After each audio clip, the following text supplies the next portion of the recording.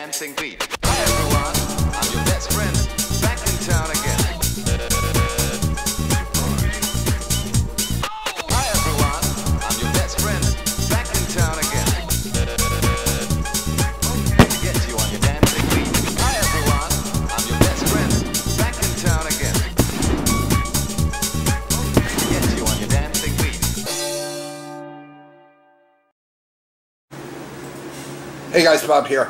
Uh, I had a hunkering for something sweet tonight, and I happened to look in my pantry and my cabinets, and I came up with an idea. I'm going to make myself a s'more sundae. So what I'm going to do is to show you guys how to put this uh, together. So what you're going to need is whatever your favorite pint of ice cream is, Hershey's chocolate syrup, uh, marshmallow fluff, fluffernutter, some chocolate, which I have Hershey Kisses, some maraschino cherries, some whipped cool whip topping.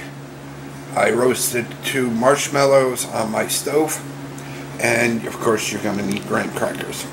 So let me do this step by step for you to show you how we're going to build this. Okay, what we did is we took about uh, two and a half graham crackers and we split them in half and we crushed up and put them on the bottom of our ice cream bowl. Alright, what I'm using guys is salted caramel ice cream. So that's our next layer. So now the next layer is going to be our fluffernutter. Alright, there's our fluffernutter. So now we're going to add our chocolate and our marshmallows.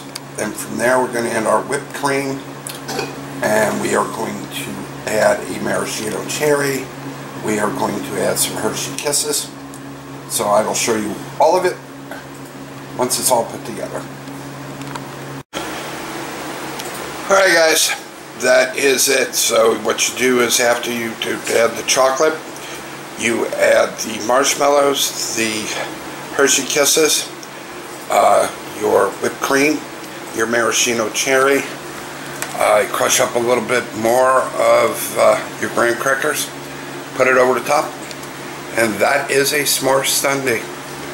So anyway guys, hope you enjoyed this video. Uh, leave a like, leave a comment, uh, subscribe if you choose to, hit the bell so you don't miss any more of these great cooking vlogs, and we'll see you in the next one. Have a great day guys.